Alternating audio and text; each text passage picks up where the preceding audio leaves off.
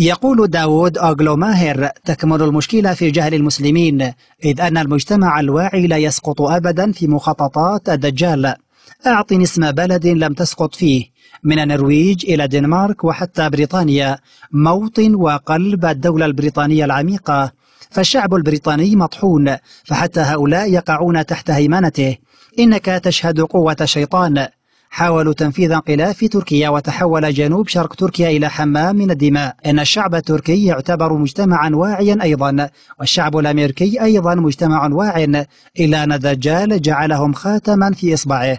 لقد جروا الولايات المتحدة إلى الحرب في العراق وفقد الجنود الأمريكيون رشدهم. ينتحر كثير من الجنود كل يوم فالجيش الأمريكي لديه أكبر معدل انتحار في العالم. وهذه النسبة تزداد تدريجيا كل يوم.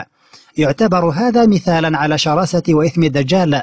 لقد جعل مجتمعا واعيا مثل المجتمع الأمريكي يقع تحت سيطرته مستخدما إياه في كل العالم ليجعله يشيد قواعد ومنشآت عسكرية. لقد جعل الشعب الأمريكي يعاني من اضطهاد مريع يعيش الشعب الأمريكي في بؤس. لقد صاروا معدمين فحركة الدجال تستخدمهم باعتبارهم القواعد الأمامية وباعتبارهم جيشه الشخصي.